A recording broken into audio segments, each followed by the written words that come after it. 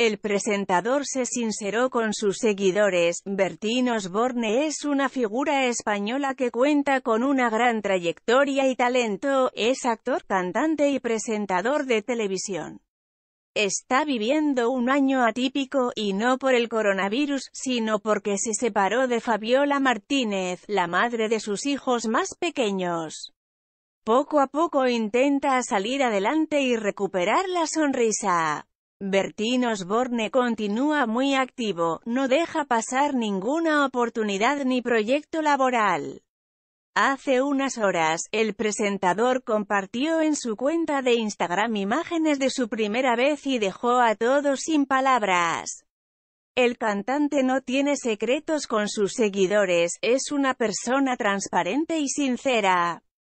Mi primera vez en una telenovela junto a la actriz mexicana Lucía Méndez, escribió el padre de Claudia Osborne en una publicación en donde se lo ve actuando. El gran debut artístico del cantante fue En Amor de Nadie, una telenovela mexicana que se estrenó en el año 1900. Fue la última vez que Lucía Méndez protagonizó una ficción, hasta su regreso en 2007. La productora de la novela fue Carla Estrada y el Canal de las Estrellas fue el responsable de transmitirla. Bertín Osborne interpretó a uno de los cuatro enamorados del personaje principal, su papel tenía bastante relevancia, Saúl Lisazo, Fernando Allende y Fernando Sáenz eran los otros amantes del personaje que interpretaba Lucía Méndez en la ficción mexicana. Bertín Osborne recordó con mucho orgullo ese momento especial que vivió en el comienzo de su carrera.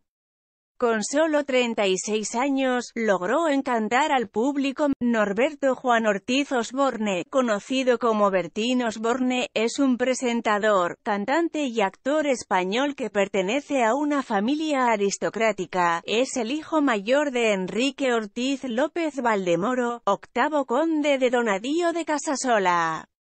Estudió ingeniería agrónoma en Valladolid, carrera que abandonó para seguir su pasión artística.